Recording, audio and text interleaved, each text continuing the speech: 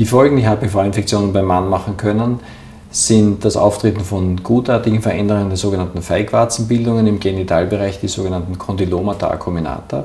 Das ist keine bösartige Erkrankung, die wir sehr häufig finden im Genitalbereich, die nicht oder in der Regel nicht bösartige Veränderungen ergeben, auch nicht sich dazu entwickeln, aber sehr unangenehm und lästig an der Behandlung immer wieder rezidivierend sein können und damit einfach den Mann sehr stören können. Die Veränderungen im Nasenrachenbereich, die sehen wir selten. Das ist etwas, was in erster Linie eine Domäne der Hals-Nasen-Ohrenärzte bzw. der Zahnärzte ist, die die Kontrolle im Nasenrachenbereich auftreten. Wir sehen zunehmend Kondylome und Feigwarzenbildungen, also auch Rachenpapillome im Rachenbereich. Beim Mann beinahe fast die häufigste Veränderung, die auftreten kann, sodass hier Kontrollen insbesondere bei Risikogruppen ähm, ein Thema sein können. Was sind Risikogruppen gerade für den Nasenrachenbereich Papillome? Sind homosexuelle Männer. Da ist es ein Thema, das häufiger auftreten kann. Immunsupprimierte Patienten, also Männer, die irgendein, zum Beispiel eine Transplantation hatten, oder Männer mit chronischen Erkrankungen, Autoimmunerkrankungen.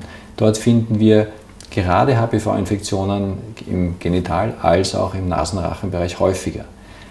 Ein Bereich, wo ebenso diese Infektionen auftreten können, ist jetzt nicht nur der Nasenrachenbereich und das Genital, sondern auch im Afterbereich. Auch hier treten Kondylome immer wieder auf, beziehungsweise können auch Karzinome, also die, das heißt die Vorstufen der sogenannten Dysplasien oder Karzinomebildungen auftreten. Aufgrund der hohen Durchseuchung und der hohen Infektionsrate mit HPV-Viren ist dies ein häufiges Problem. Das HPV-Virus heißt nicht, wenn man einmal damit infiziert ist, dass man immer die Infektion trägt, sondern es gibt eine gewisse natürliche Clearance, nennen wir das, also Selbstreinigung und Immunität, die bei einem Großteil der Männer, äh, der, der, sowohl Männer als auch Frauen, innerhalb von einem Jahr stattfindet. Ein gewisser Teil bleibt, verliert diese äh, Infektion nicht und daraus können sich dann letztendlich in weiterer Folge entwickeln. Wenn es die Selbstheilung gibt, dann bräuchte man ja eigentlich gar keine Immunisierung und keine Impfung.